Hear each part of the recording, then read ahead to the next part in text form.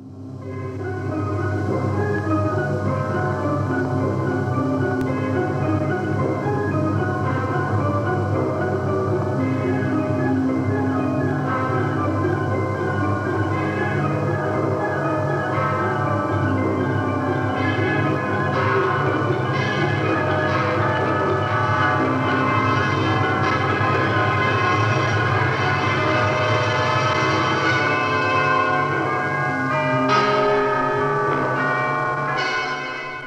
He didn't understand.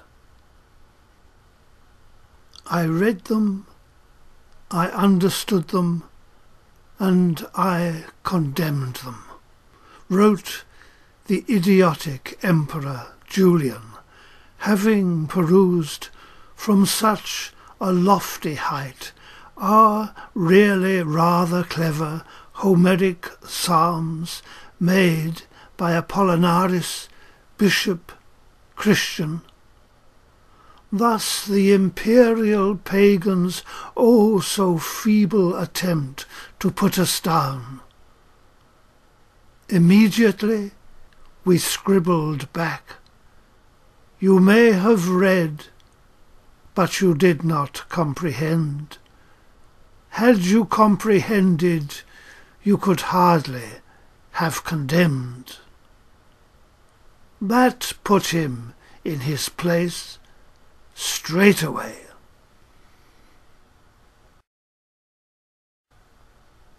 Kimon's story. After the death of my cousin Marylos, a poetical friend made this epitaph. The poem speaks in the voice of the deceased, and as I read it, I can hear again the slow, measured speech of my clever cousin with something of the viper's hiss and slither. My endings at the crest and apogee. I exit on a surging, seething wave. Hermoteles is my inseparable friend, my loving one companion. These last days, although he seems unworried, I can sense his grief. I see tear-reddened eyes he seeks to hide.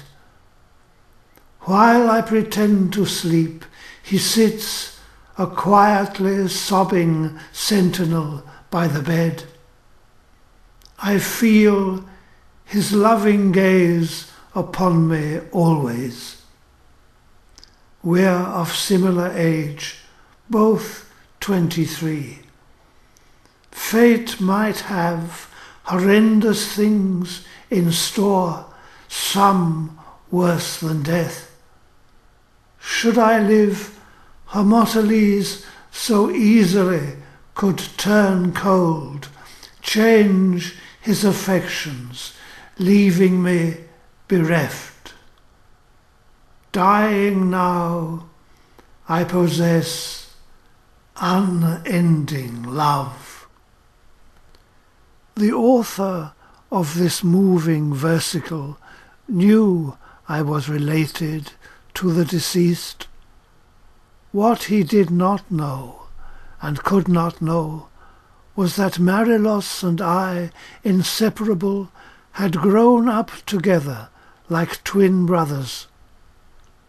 I am devastated by this cruel poem. Marylos in death escapes my malice, even though he took Hermoteles from me. Should Hermoteles attempt to repossess my heavily ransomed, widowed, orphaned heart. Marylos, grinning spectre, would interpose, as if I could hear him singing from the grave with something of the viper's hiss and slither. Are you happy now, sweet cousin Kimon? Are you happy? Now he's yours again, the beautiful Hermoteles. Now you have no excuse to slander me more. Spartans King Cleomenes of Sparta watched his mother Clear warily. How could he say it? How approach the subject? Ptolemy of Egypt had agreed to help the Spartans against the Achaean League. As guarantee, Cleomenes should send his regal mother and his royal children across the sea to Alexandria, pampered hostages to the Egyptian cause. The old lady knew a thing or three. Utterly unfazed, she smiled at him, at his stammered explanation. Don't you worry. I'll go with the children willingly. I'm only glad at my age I can serve my country still, our splendid Sparta. Humiliated? Me? Oh, don't be wet. We outdate the house of Lagos by an age. These Ptolemies are newbies, born yesterday. I come from an ancient Spartan line and hardly care what Greek Egyptians think. Lagids, riffraff, Ptolemaic scum. 1909 to 1911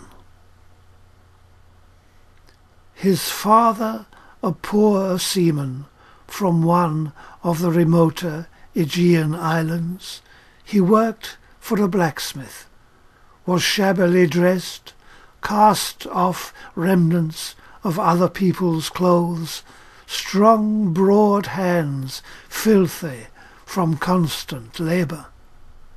Through interstices of torn shirt and trousers came magical glimpses of rounded, muscled thews and warm brown, moulded cavities of flesh. After work, the fancy often took him to dress himself in something especially flattering to adorn his well-set frame. A fine, expensive tie for Sunday wear. He liked to parade on Sunday a new shirt of unusual cut and colour, to pay for which he'd sell to a passing stranger for a small sum his rich, athletic body. In the long story of Alexandrian history, crammed as it is with coruscating beauty, never before was found such a fabulous creature. Now he's gone, forgotten, except by me. Dare I now admit it, tasted sensually upon my teeth and tongue. No one ever photographed or drew the exotic outline of his body, face, or thew. In time his loveliness faded, puffy and worn from unremitting toil and indecency. Like any old piece of metal, he was thrown into the smithy, heated, hammered, beaten, shaped, or cast into a handy and appropriate tool. His strength and beauty gone, tossed and lost among scrap metal clanging.